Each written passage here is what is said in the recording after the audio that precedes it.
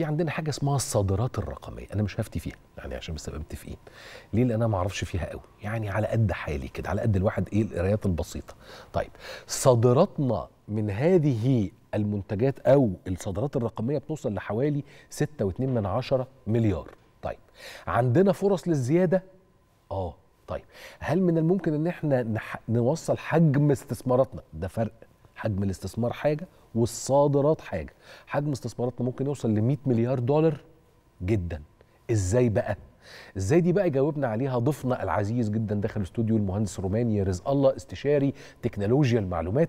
أهلا بيك. أهلا وسهلا منور منور منور. أنا متشرف جدا صدق يعني إيه صادرات رقمية الأول؟ آه بص صادرات رقمية يعني كل ما هو تكنولوجيا. يعني أنا دلوقتي لو بعمل outsource في ال programming مثلا دي صادرات رقمية. آه ممكن آه لو هقول call center آه. آه يصنف outsourcing رقمي. international call centers آه آه ده يصنف آه، آه، صادرات رقمية. آه، آه، كل ما هو تكنولوجي AI artificial intelligence internet of things كل ما هو ال tools دي هي آه، ممكن تبقى صادرات رقمية إحنا نقدر نتميز بيها. حلو. وده على فكرة ده مش آه، أنا هقول لك حاجة هتكلم في حاجة مهمة جدا إحنا بنسمعها. آه، القيادة السياسية بتتكلم على إنه مهم جدا الصادرات بتاعتنا تبقى آه، ت- آه، آه، 100 مليار. صح؟ أعتقد الرئيس رافعها كمان ل 120 آه، 100 100 150 آه لا لا الرئيس ما بيهزرش. طيب. طبعا طيب هقول لك حاجة بقى. الملاذ هتكلم في الحتة دي الأول وه- وهاخدك لحتة آه، تانية خالص بت- بتاعه تكنولوجيا المعلومات.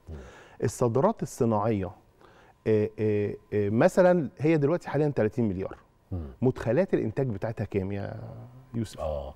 كام نصها. مش. عايز أقول أكتر. خلينا نقول بس نصها. مشيها نص. مشيها نصها.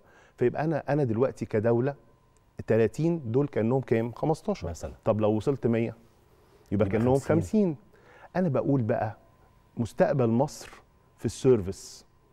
في الص... في ال technological service دي. ليه؟ هقول لك حاجة. مصر إحنا دايما بنقول مصر شابة. آه طب مصر فيها 60 مليون شاب. لو أنا قلت إن أنا عندي مليون من ال 60 دول مليون من ال 60 أقدر أستخدمهم ك outsource human resources مورد بشري. تعالى نحلل رقم صغير كده اوريك قد إيه ده ممكن يدخل الدولة المصرية. ودي. مبادرة إحنا بندعو القيادة السياسية إنها تتبناها. ومن من منبرك ده اللي هو دايما القيادة السياسية بتتبعه ده شرف ليا يا رب. آه فدلوقتي تعالى نحلل رقميا لو قلنا المليون دول المليون دول لو الحد ده هياخد آه، آه، 3000 دولار. في الشهر يبقى كام 3 مليار. دولار طب في السنة 36 مليار دولار صافي بقى نت.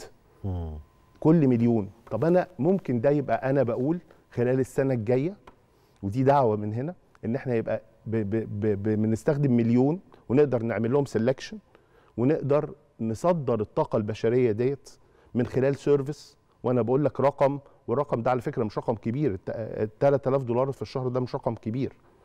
تمام؟ إيه، فبنتكلم في 36 مليار دولار. فلو قلنا في السنة الأولانية ديت 36 السنة الثانية هيبقوا ب 2 مليون الضعف في الثالثه هبقى أوصل ل 100 مليار دولار نت.